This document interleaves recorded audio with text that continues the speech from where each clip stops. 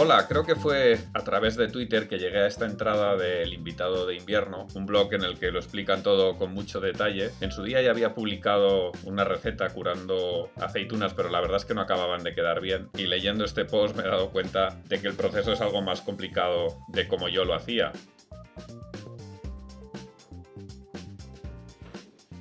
Vamos a empezar recogiendo las aceitunas y lo haremos con algo de postureo porque cuando me puse a darle al olivo con la caña fue un fracaso absoluto. Se necesita un rastrillo o las manos, que es como lo hice yo. Eso sí, la caña sirve para los almendros, por ejemplo,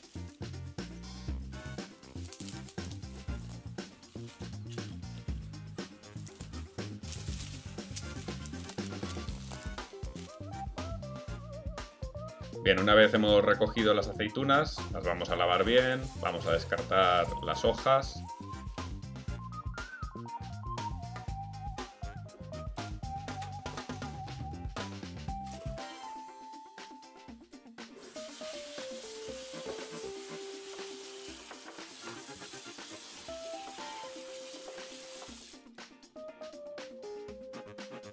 y las vamos a dejar en remojo 24 horas. Ya veréis que las que no estén muy bien van a salir a flote y simplemente las descartamos.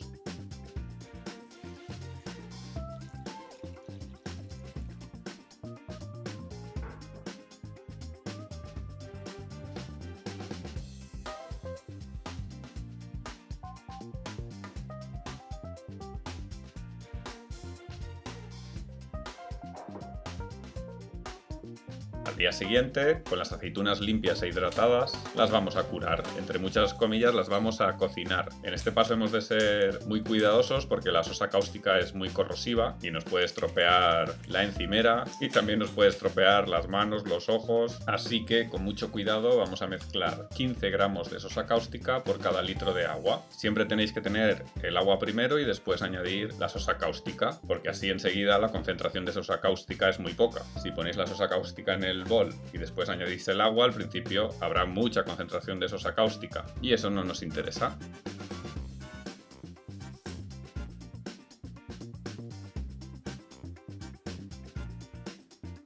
Después removemos bien, mejor si es con una cuchara de plástico.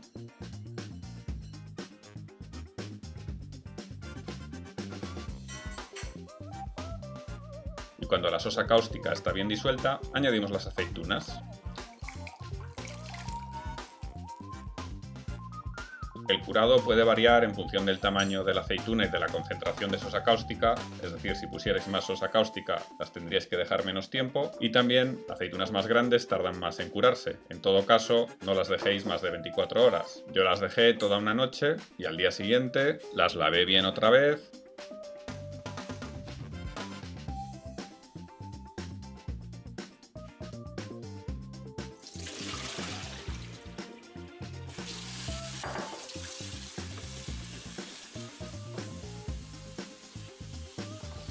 y las volví a poner en agua, pues al final creo que fueron tres días cambiando el agua un par de veces cada día. Antes de envasarlas, estaría bien que tuvieseis papel tornasol para medir el pH. Tienen en algunas farmacias, a mí me costó algo encontrarlo, tenéis unos 200 papelitos por 10 euros. Yo lo hago al final porque el día de la grabación todavía no había encontrado papel tornasol. Bien, ahora vamos a hacer la salmuera. Y en el bloque El invitado de invierno recomiendan 50 gramos de sal por cada litro de agua, es decir, salmuera al 5%. Se podría añadir algo más de sal, pero bueno, en ese punto está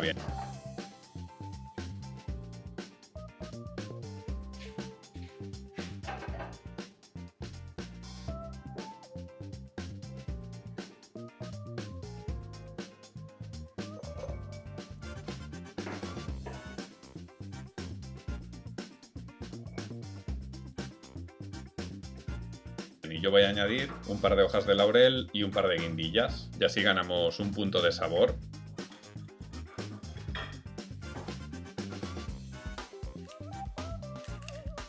Añadimos el agua que cubra bien las aceitunas.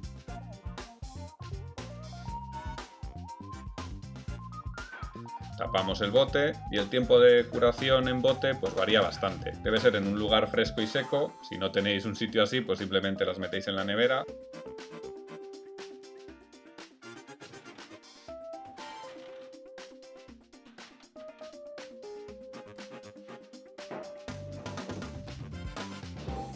Y yo me he esperado un par de meses a probarlas y todavía están algo duras.